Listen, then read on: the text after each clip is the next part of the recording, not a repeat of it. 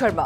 Crypto prices endured wild swings on Friday morning Asian trade as traders anxiously awaited a US regulatory decision to list spot based Ethereum exchange traded funds. In a second landmark decision this year, the United States Securities and Exchange Commission has given the regulatory green light to spot Ether exchange traded funds in the United States. In a May 23rd filing, the SEC approved the 19B4 filings from VanEck, BlackRock, Fidelity, Grayscale, Franklin Templeton, ARK21 shares, Invesco Galaxy, and Bitwise, approving the rule changes allowing spot Ether ETFs to be listed and traded on their respective exchanges. The landmark decision came despite speculation that the securities regulator has been investigating whether to label Ether as security.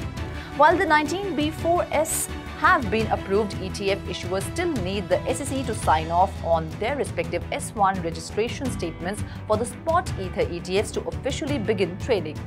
Industry analysts say this could take days, weeks, or even months.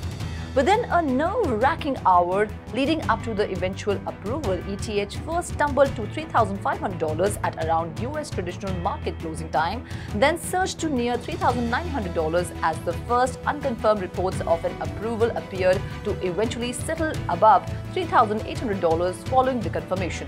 Bitcoin saw a similar hectic episode sinking to the low $66,000, then spiking to $68,300 before paring gains below $68,000. However, ETH performed stronger, advancing 1.5% over the past 24 hours compared to BTC's almost 3% decline during the same period.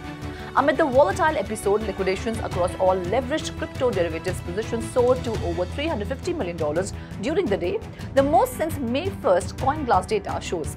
The global crypto market cap is $2.54 trillion, a 1.46% decrease over the last day. The total crypto market volume over the last 24 hours is $141.65 billion, which makes a 43.49% increase.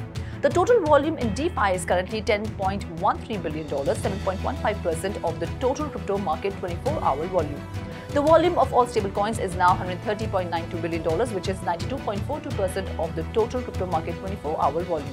Bitcoin's dominance is currently 52.51%, a decrease of 0.52% over the day.